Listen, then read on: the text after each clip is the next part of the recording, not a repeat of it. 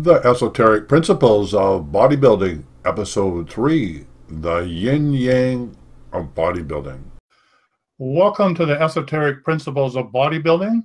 This is Episode 3 The Yin Yang of Bodybuilding. And today uh, we're going to have a guest speaker, uh, Stephen Hersey, who's uh, Dr. Fitness USA and we're going to take his, have his wife Batista do the introduction. So over to you. Welcome back to the show. This is going to be an interesting show. Hi, Dashan. I'm so excited to be here and share with you about the yin yang of bodybuilding. This is something that was very new for me. I had never heard any of this conversation prior to meeting Stephen, Dr. Fitness USA at first it was kind of strange the conversation. I didn't understand really what it all meant because i came from a, a professional uh, dance background and for me it was all about um, doing more and you know the show must go on. And so the conversation that you're about to hear is um, may strike you a little bit different or you might be puzzled but trust me that in the 10 years that I've been now studying, researching, practicing, and teaching all these principles, there is a lot, a lot of wisdom uh, behind this yin yang of bodybuilding, which uh, I I'm going to bring on Dr. Fitness USA himself to talk to you about this because he there's only him that can talk to him uh, talk about this with such expertise because he's he he lives, he walks the talk. And so um, if you don't have any other question, I'd like to bring him on. Is that okay to bring him on bring right him now? On.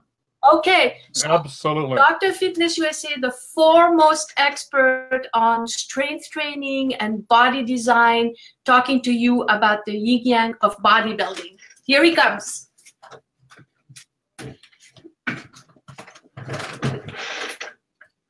So, how's your day going? The day is unfolding as it should.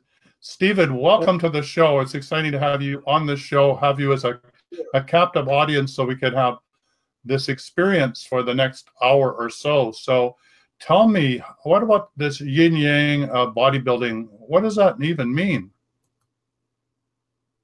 Well, we, we know that we have male and female energy. Yeah, right? Yeah, absolutely.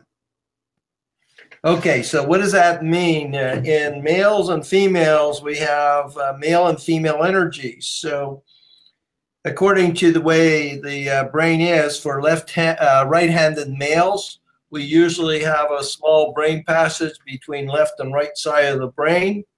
So we do things uh, one thing at a time.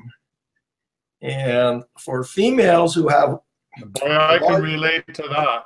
Yeah, don't ask me about.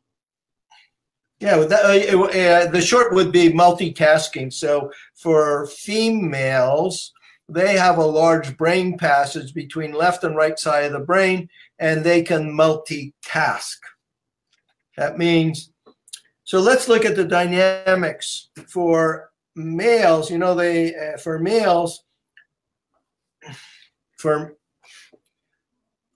for for males, okay, let's look at the dynamics. For males, we're safe when we're in our thinking mode. Thinking, solving problems. The part that's not safe for men is if we're in our feelings. Okay? So it's very important for men to stay in their thinking mode. So what happens is women, because they have this large connective tissue, they can go between left and right side of the brain at a split second. So that means that they could be in their feelings and having a good time.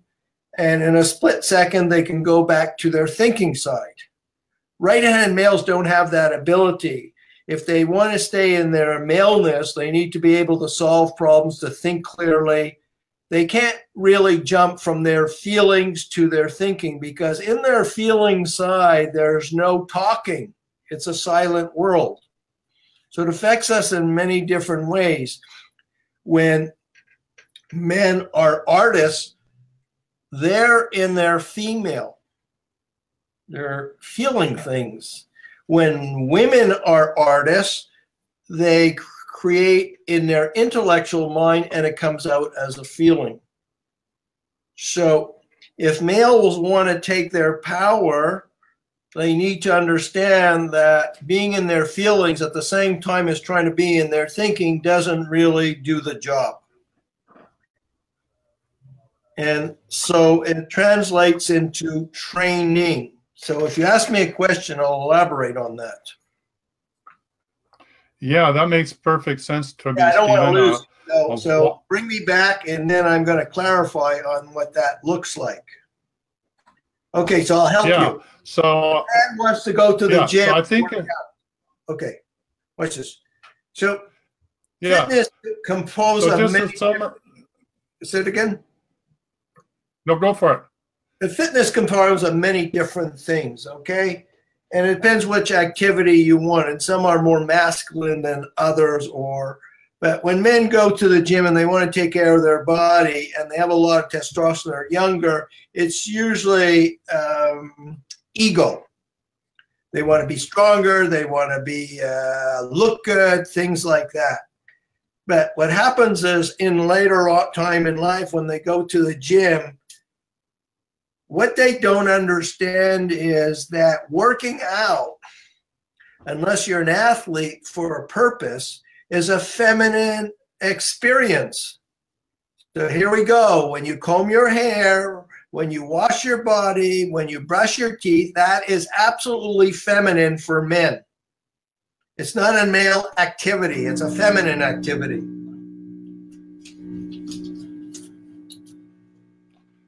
Is that, Stephen, because you're actually in your feeling body when you're doing it? You're not in your head? Yeah, uh, well, you know, in spirituality and things like that, I want to get too heavy, but you know, in a lot of courses, they get say to men, you need to learn how to express your feelings. Well, when men start to express their feelings, first of all, they don't take care of women because they're concerned about their feelings, and uh, expressing their feelings makes them very unsafe in a savory world because the male energy says what he thinks, what he wants the female energy says how she feels and what she doesn't want. Because when you're talking to a woman, she wants everything. So a lot of times when you're talking to women, they say what they want, but they want everything. So they don't get what they want. But if they know what they don't want, then they can set standards. So now we go back to the gym. So because a man is using his feminine energy. When he's younger it's a little bit different because everything works but when you're in your 40s or 50s and your hormones are changing and uh, you're producing less testosterone or male qualities what happens is working out as a male attribute. You're in your female. So eight out of ten men don't have a solid business plan of what to do in the gym they're always going to gym and uh, they're not concerned how they look. They're interested in putting as much muscle on their body as possible. So it's kind of like painting a car and the frame is all bent. So when I hmm. personally go to the gym, when I see men in their 40s, especially in their 50s and their 60s, I don't see anybody smiling. They're on the wrong machine frowning and making faces and hurting their body because they don't know how to adjust through the years or the ages. Okay, there's a way of entering the body where you can balance out your hormones. And in prescription strength training, we teach men never do anything that feels uncomfortable. It's the power of the program that gets them the result. So for females, when they're younger, especially the generation has changed, they're doing everything. So what they're doing is they're taking their aerobic activity like in dance and they're transferring it to the gym, which is a totally different type of activity and a different relationship to their body. So if they were doing a thousand movements in dance, now they're going to the gym and they're doing a thousand movements for their legs. That means many different exercises. So they have no conception of why they're really there because the gym allows you an opportunity to strengthen your nervous system, to relieve stress, and to actually build a symmetrical body. That means if your legs are overpowering your upper body, then you need to balance it out. You need to reduce the legs and build the upper body so it matches the legs. It's called symmetry. But I don't see that happening in the gym. Hmm. Hmm. So I'm yeah, going to give you how that really interesting. Yeah, so I give you how, uh, and then you can ask me some questions. I'll give you how that translates. Okay, so we have a student, we won't name her, and now she's checking in, and uh, Batista calls me over, and we're, she puts me on uh, the camera, and I'm having a conversation with her. And Batista says, I've adjusted her program, and it says to do a, a leg press. Before she was doing like uh, a few sets, like times eight, okay, three sets times eight, and let's say it's 100, 100, 100. Now she changed the, I changed the script and I put eight slash eight slash eight slash, and I upped it to 130 pounds. So the person says, Oh my God, how can I do 24 reps with 130 pounds? Okay, so watch this. If I told you I wanted you to do 130 pounds, 24 reps, you'd be exhausted too. Now, if I tell you, why don't you just relax and you're in this comfortable machine and you know, you do eight and then you stop for a section without putting the weight down and then you do another eight and then would that be okay? You say, oh, yeah, that's not a problem. So you see the woman is in her male. She's not paying attention to the script because when I look at the script, I don't see 24 reps. But she's insisting that she sees mm-hmm. 24 reps. Why? Because her head is multitasking. That means she's going, oh, it's three times eight. It must be doing 24. The training is set up so that it protects your nervous system by keeping you focused and to stay on track. Because my experience is when women come in, they're down you know, maybe 70% of their physical body strength. And they say, well, how's that possible? Uh, I'm a strong woman. Yeah, you're a strong woman intellectually, but your body is weak. So what we have is, without a program, you have women coming into the gym and they're down about 78%, almost 80%. So they go to a piece of equipment, and of course, uh, some gyms have better equipment than others, so the uh, the movement of the machine actually is working. Okay, so the woman sits on the machine, and it could be a guy. This happens to guys too, and they're pressing on the weight. And when you look at the weight, it's only like ten pounds. It's the wrong machine for their body. Their body can't process the weight comfortably, so they're just going through the emotion. So you're going in a gym and you're seeing women who are uh, actually taking better care of themselves because they're exercising, but they're not producing muscle mass, they're not strengthening their nervous system. And uh, as they get older, they're going more into their male and they're very difficult to deal with. Just like the woman I just talked to you about. She's insisting that's 24 reps until I have a conversation with her. And I've done that to a male too. I've come up to a younger man who's like super strong and he's doing an exercise, the leg press. And he's doing about 600 pounds and he's doing like 12 reps.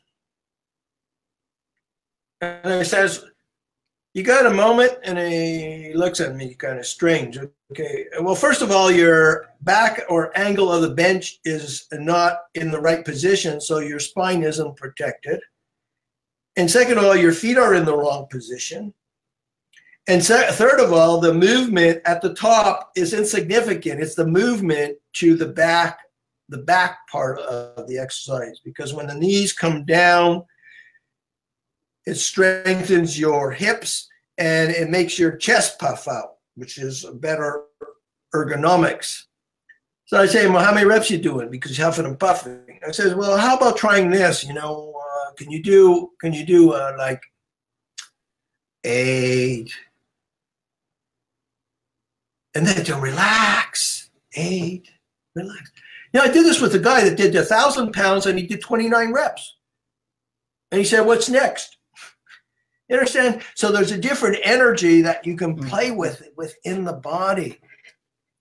But people are mm-hmm. all in this performance mode. The way it's the system is set up is, is you go in the gym and you hammer your body till uh, you're blue in the face and you sweat and you make all these faces and now you worked out. That's not prescription strength training. To me, bodybuilding, what we're trying to do right now is to introduce it as a health component to reducing women's age 15 to 20 years and giving men back their maleness so that they can take better care of the women. Because I find when men find out that women are really smart, most men do, the women will automatically do all the work. She has no standards to get the men to do the work because one, her body is weak, and the male's body is weak. So prescription strength training has a powerful component to balance, out the moments. So here I can tell you from a week, uh, a real experience. In the gym, I personally am trying to create relationships. So I'm not looking for money. I'm not looking for help. It's I'm kind, it's like I'm being kind to the neighbor. So the man standing beside me has really powerful lower legs but his upper body looks like it never trained a day in its life. So he looks at me, he says to me, Oh, this is so hard on my knees and my legs. And I, you know, I, I said, Hey, listen, would you be open? I can show you how to do it in a way that uh, would impact you. So I adjust his body and I, uh, I completely different the way he's using it because the way he's using it, he's going nowhere. So the point of the matter is now he does it. Now I correct the range of motion. So he's being educated in the rest of motion. He gets off, he has the light bulb go up and his man, that was really great. He says, Yeah, but I'm 62 years old. I said, Well, how about rearranging your program so that you can transfer all your positive energy to your upper body that can still be developed? This is very typical. Oh, I'm okay. I'm only in the gym because I want to feel good. Oh, I'm only in the gym. You see, he's like a girl. All the guys, when I go into the girl, although they look masculine, are like girls.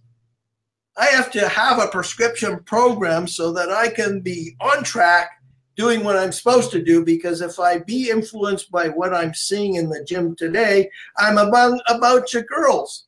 They're trying to be like they were 20 years ago. They're, they're forcing their body. They don't even know the machine hasn't adjusted. They're, they're, you know, they're like chicken with heads. And the opposite is you have women in the gym that are like, like not overweight, so to speak. And like I said, when you look at the weights that they're using, it's only like 10 pounds. And sometimes they're using like a calf machine. They're trying to exercise their thighs. They, they don't even read the instructions. See, I'm a guy. If I saw a guy doing a great exercise, and I, I have no problem with that, I say, hey, man, that's a really great way of you working out. Can you show me how to do it more? The masculine would say, can you show me another exercise that I can do better? But between the women and the men, the dynamics is just isn't there. So my suggestion to women is to take hold of the reins and start to uh, look into prescription strength training so you can take back your power. Because as you take on age, the climb becomes higher. Like when we get back a calendar or I review the weights or something like that, the person doesn't know that when they started, it's a whole new world, and it's just like running. Eh, you know, they start off and they ran a few steps, and now they can run a mile, and they can do a lot of different things. It takes a little bit of time to conditioning, but the training is a way to better yourself in the gym. So in the prescription training that we have, it's run as a school that teaches women how to do things properly, and it teaches men how to do prop, uh, things properly. And men, when I'm so when I'm reviewing the calendar or things like that, the person is saying, you know, this is like really hard. You know, and I find I have to rest and then I have to keep going. So, you know what that tells me? It tells me that the person doesn't eat properly. They cannot find an activity that's as simple as what I'm giving them. So it's a mindset. So uh, I changed a prescription for Batista in a chest press. It's a brand new machine. There are two different machines in the gym. Everybody uses the one to the left. She uses the one to the right. And in using the machine, there are seven different things she has to do before she pushes on those handles to make the weight go. So she starts off with a very low weight, but she has a prescription. The third time around, from doing 30 pounds, she's now doing 80. So what I'm getting at is 80 weight is a factor. Now, I'm not a pro bodybuilder, but when I do a rear delt machine, okay, look at what people do. The woman does 20 pounds incorrectly. The guys who are really strongly built do 90. And Stephen Hersey goes in at 295 pounds. The, what I'm getting at is when you have a prescription and you start to follow the steps, just like a chess piece, you're going to get to the weight you're supposed to to produce a result. So going in the gym and using your ego to try and bully your body isn't going to work it.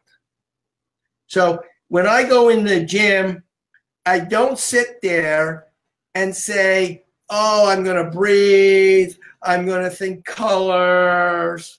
What I'm going to do is use my natural ability. You ever sit in traffic? Oh my God, there's traffic. You can get really angry. Then all of a sudden it opens up and then you smile. You have all these expressions in the gym, or you want to get an ice cream, go, I come in the gym and I get angry. Oh my God, this gym is so stuffy. I hate this gym. That's positive energy. Then all of a sudden it opens up. I say, My God, am I lucky today? And I smile and I'm dancing with my buddy. I can have all these emotions. But when I sit on this piece of equipment and I look at the program, I execute the weight. I don't have to do anything. I have a map. A map is there's two types of people. They have a map, but they don't know where they're going. I have a map. I can stop for lunch. I can take a drink of water. I can go to the bathroom. I come back and just keep going. I do that all the time. Ask the person, well, how many sets you have? He doesn't even talk to me, okay? I can I can be I get really angry, right? That's a good emotion. I can argue with him. That'll be a good emotion too. That's negotiation skills. Or I'll just go for a walk around the gym. By the time I get back, he'll probably be gone. Okay. It happens every single time. He's gone. I got all this machine to myself. You see, you have all these emotions and energy, and you can have them all, and it's okay. Sitting there and being serious means nothing to me because what I'm doing is where is the what is the uh, exercise going to do for your body? How much weight are you going to uh, lift? And there's a rhythm. You have to keep moving. See, the body has a rhythm. If you stay, so so, what's interesting was you first do if we have like five sets, and you do the first three sets or four sets, your brain is processing the movement. That's okay. When it says times five and you use heavier weight, you feel nothing. You execute it. By the weight time the weight is you're pushing on the weight, it's already moving forward or backwards. You don't think. See, thinking is ahead of time. If you're climbing a mountain and you want to reach to the top, you have to have the right equipment. But once you start to make the descent, you're not asking yourself silly questions. Well, I mean, it's uh, pretty far down. What happens if I fall? You execute it. So the training teaches you to be very um, aware of your surroundings. It teaches you to check your equipment. It teaches you to stay super focused See, because yeah, mm-hmm. years ago I used to see people that were very muscular. They come into the gym. It's kind of interesting, and I say, "Wow, how do they get that way?" So you can get very confused what's going on in the gym. What I didn't know is that he's uh, pedaling uh, 10 miles to work from Hollywood and he's eating uh, roast beef sandwiches. So he's burning it up, calories. So one last thing I want to bring up is that when people when people do all this aerobic activity and men do that and women do that, it means nothing to me. Their body is getting older by the minute. Like yesterday when I was in the gym, I was seeing a big, strong man and he's on the treadmill. I'm asking myself, why are you at the? It, we, I didn't really speak to him. In my head, I'm saying, why are you on the treadmill? You've got 40 minutes to work on your body, and you're on a lousy treadmill, jumping up and down, which means nothing. So people, uh, what I'm trying to do is to change the the way people rock and roll in the gym, and how they can take better care of themselves it's not meant to put them down. It's I'm uh, out of 20 people, I'm looking for the person that has that aha moment, like yourself or Batista, that says, "Tell me more," or "Show me how to do it better." So uh, let me stop there. I'm curious, why don't, why don't you think aerobic, aerobic is the way to go? go?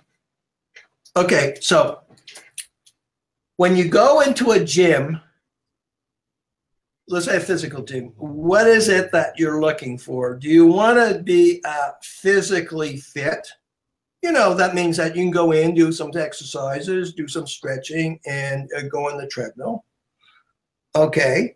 Do you want to go in and actually build some muscle or do you want to build some muscle and create a balanced body that's working on your posture, strengthening your nervous system, educating yourself how to use the machines or the adjustments properly. People go into the gym, it's physical fitness. Now you only have 40 minutes. Why would right. you go into why why would you go in unless you have a heart condition, of course, why would you go in and spend time on a treadmill? Your treadmill just passes oxygen through your body, but it has nothing to do with rearranging your body and giving you increased strength. So you have people that go in the gym, they're doing all their aerobic. If you look at their upper body, you see they have no upper body. The gym is there yeah, for you to build a body. Yeah. So what you're saying is that that if you want to have longevity, if you want to have balance and symmetry, if you want to look like Leonardo da Vinci's sketch of the ideal human body, then there's a certain way that you need to go about doing this. And that's not running around the gym and throwing weights around or trying to be the best He Man there. That there's actual steps uh, and a process that needs to be followed in a logical order to balance out the body, one part balanced to the other. So what you're saying then is, so that's really why you we start off with uh, the exercises you have people, which is really strengthening the lower, you know, the lower body so that you're well grounded, so you're you have the strength to carry your upper body. Is that am I getting this right? Is that very good? Yes. So so that's what you're teaching people is even the ex, every, each ex, other exercise so for the 45 minutes in the gym, you're going to come out a much more robust human being because you're building on the last time you're in the gym. And over time, you're going to have symmetry in your body. You're going to have a strong uh, neuromuscular system. You'll be able to uh, counteract uh, viruses and diseases and influences like that. You'll be able to have a higher metabolism rate. You'll be able to digest your food properly. You'll have a better sex drive. You'll look 10, 15 years younger. So these are all byproducts in the gym that if you use a prescription and you're aware and you're not being Mr. Super Guy, but focused on why you're there, you're going to get incredible results. That's exciting to me. I mean, I never understood this at all when I was in the gym when I was 21. I just thought we just threw weights around. So the fact that I could just use, you know, do press with 120 pounds to warm up to me was just the best thing in the world. I had no idea what I was doing, right? None yeah, whatsoever. Okay. So, so people listening to this, this is a whole prescription. This is a really a way to get in touch with your body in a new way, which helps you really build on what you have, but also to bring, like Stephen says, the symmetry into the body. So, Stephen, that was a great explanation. It really helped me understand the difference between the yin and the yang, how women would approach things in the gym compared to the men. And I've always wondered why these guys with so many muscles in the gym are really, I don't know, they, they seem really strong, but I don't feel they're strong. They almost seem like they could be blown over, even though they have the most beautiful, incredible muscles. It, it, there's something that's strong. There's there's something that doesn't seem to be in balance, and I could never figure out what that was. You're what you're saying is because. Go ahead. Yeah. So what you're saying is they're just approaching it the wrong way, and there isn't that core strength that you're talking about. Even though the muscles are there, they're not getting the strength that they need to even support their body in the right way. Okay, so I'll give you an example which will really help. Really helpful. So I'm at the uh, Trump golf course, and I run into a man. Uh, that's nice looking, you know. He's obviously muscular, okay, and he and he's walking his dog. it's kind of interesting. There are many muscular men walking around with little dogs. I can never understand that. You know why? Because when men put their love and attention on animals, it means they're not getting love in their real life. So they carry them around in a suitcase, they carry them on a leash, and now he's walking in the park. Okay. I find out that he's training at LA Fitness, the same gym as me. Okay. So now uh, I uh, I was curious. He said he had a wife. We're looking to socialize. So now I'm at the gym and he's there with his wife. His wife has good genetics. What it means by that is she's blessed probably with pretty good legs, except they're not really in shape. Her upper body is from a fat person, but she has the potential to change that but he dominates her because now he found a workout partner. The men will never say, Stephen, I see that you're with Batista. You're the best in the world. What you do? Do you have any ideas for my wife? So the wife, like a sheep, follows the husband. So I'm going to show you something. He's doing what we call a side raise. You know, it's a machine and you lift your elbows up. Okay supposed to work the side of your shoulders. Okay. So he's doing it like this. You see this part, how it's lifting up?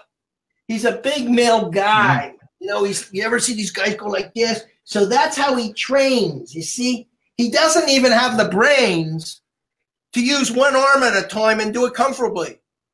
You see, the energy would go to his arm and he would process the energy, but now he's doing it like this. See? And if you look at the weight, he's doing 30 pounds. Stephen Hersey is doing 190. He doesn't know how to adjust his body to where he is in his 60. So now his wife comes along and she doesn't even fit the machine, but she's she she's doing this. She can't even lift her arms up. And that's how they run their training program. It's always like that. The men will not help women go forward the women have to get more uh, educated on how to reduce their age as they go along. They got to stop following their husbands and their boyfriends and their personal trainers. They have to find their own balance. We teach people never to do anything's uncomfortable. Never. I go to gyms uh, a lot of times with Batista, but we don't do the same program. So in relationships, we won't get too much in relationships, but you have a circle here, which is me, and then there's a certain as you, and then we come together as a we. In the gym, they're all we's. They're all creeping up on each other. They're, they're retarding the women from taking better care of themselves. I don't care if the guy's in shape or whatever. He's not an expert in what I'm talking about. He's old school. And so the women are learning bad habits or they have a bad attitude. Bad attitude means they don't smile, they don't talk to people, they don't interact with these people, and they're not learning how to use the equipment in a gym that has five hundred thousand dollars of tools to whip your body together, except they're on a treadmill in Southern California. How do you figure that out? The women are the yeah. ones that take uh, action. So here's a, you know, in relationships, the women are God gifted. They have an insight that you can't beat. So sometimes you have to let them breathe or offer them gifts. If they have an idea or they'd like to, uh, their body better and there's an expert out that can assist them, you have to ask them, you think it'd be a good idea to speak to this person and see if you can further your training. You know what they do is they have a training partner, just like their dog. It doesn't work for them. And being skinny for well, women. Stephen, I, I, yeah. I know that we're uh, digressing a bit, not because I'm not enjoying it, but we are supposed to be doing the yin yang of uh, bodybuilding, and you're into relationships. And I love what you're saying. You've got so much passion about the, the, energy. So, what? But, okay. Uh, don't get me wrong. So so important. You can see it in the gym. So I really appreciate that, and we're going to go into more detail on that in a, in a forthcoming episode about how to build relationships in the gym. That this is your opportunity to empower your significant other to be able to come forward and be the best that she can be. And the way you can do that is help her be herself in the gym, which is not following your program, but helping her create her own program. Or working with Stephen or working with Batista to have the program that suits her body type and where she's at. So as we wrap up in this part of the show, back to the yin and yang and the different ways in which men and and women process information really determines how we approach uh, how it is that we do things in the gym and, and the sequence in which we do things. So just as we wrap it up, could you give us the, uh, sort of a review of the key points of that yin yang balance that you wanted everybody to understand? Uh, well, when it comes to males working out in the gym, they ought to check the equipment and do things that actually make sense to their body. And that could be by uh, doing a different sequence or doing a different exercise. You see, they have to, what they don't know is what's really missing. That's the, one of the key issues.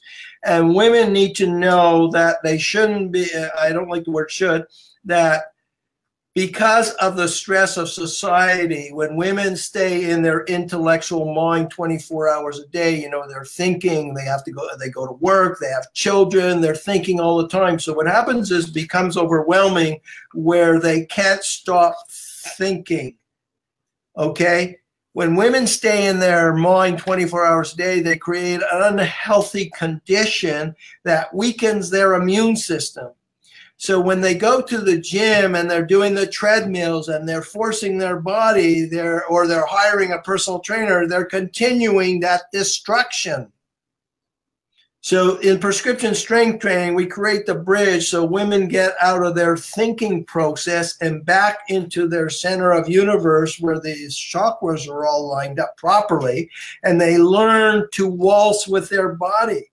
They learn to do exquisite movements just like in dance. You can dance with your body, but if you just go in aimlessly and hit different pieces of equipment, you are in your male. So that's very destructive. It means your body can never rest.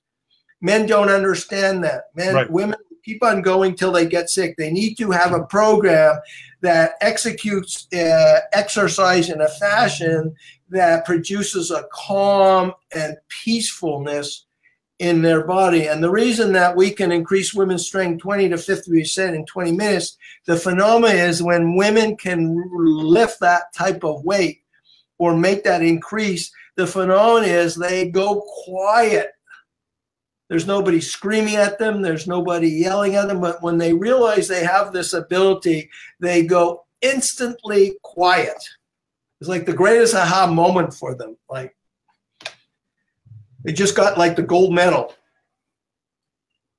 See, when we when is we that teach- Stephen because uh, is that because um, there's more grounding, the body grounds, and all that stress is a way of coming out of the body, and therefore the mind just what's happening.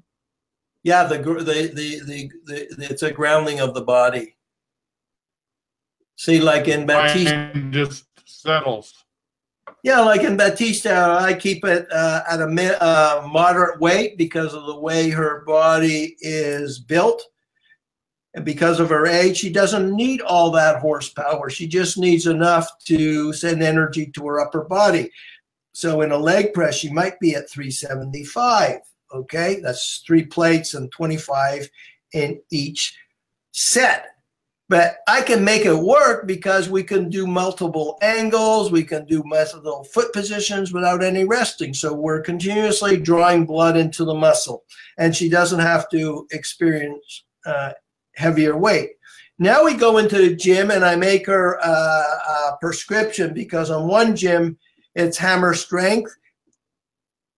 She doesn't like hammer strength. You go in another gym that's Life Fitness. They're both the same company, but they're built different. So we go and we go to the gym of her choice, which is Life Fitness, because she's learned how to be more comfortable or how to read the music to her body. In 7 mm. minutes, she's doing 500 pounds and she's laughing. She's having a good time.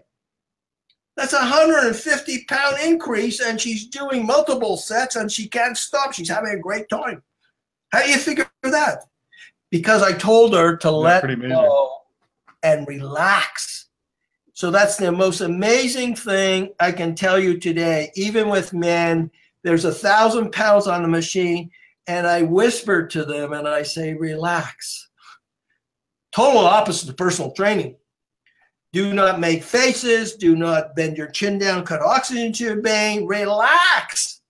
You have an inherent ability that you haven't even reached yet. And once you feel it, you don't have to always do heavier weight, but you can transfer that success into other areas of your life.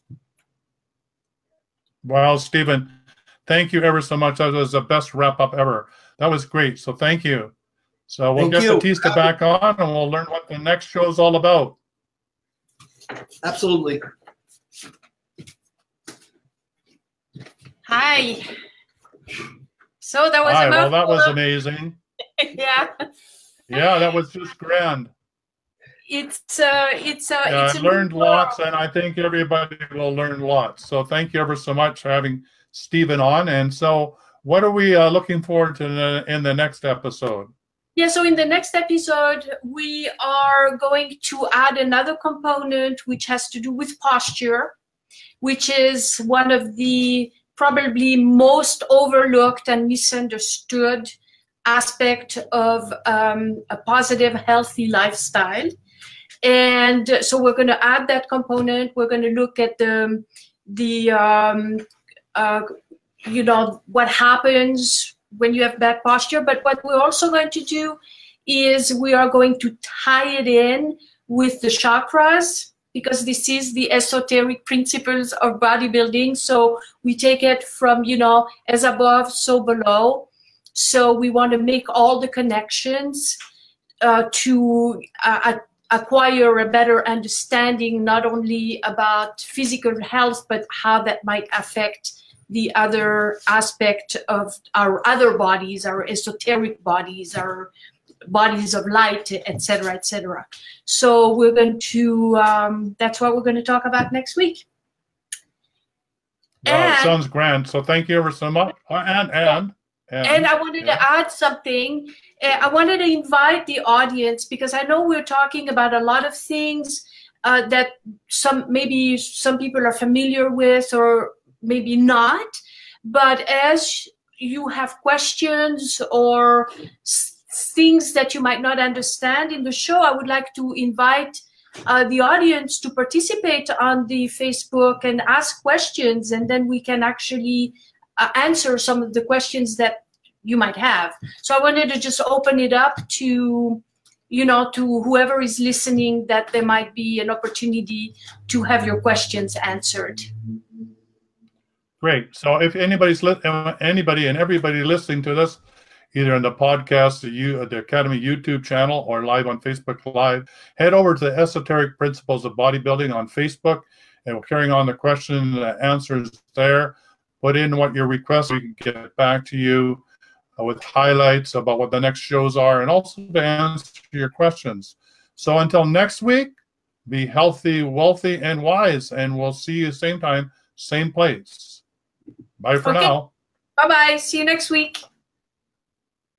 This 13 episode series, The Esoteric Principles of Bodybuilding The Missing Links to Fitness Consciousness, with your host, Batista Gremaud, Master Builder bodybuilder and designer, is co-hosted and produced by Tyhson Banighen and his guides www.thewellnessshow.ca and see the same time, same place every Friday, 2 p.m.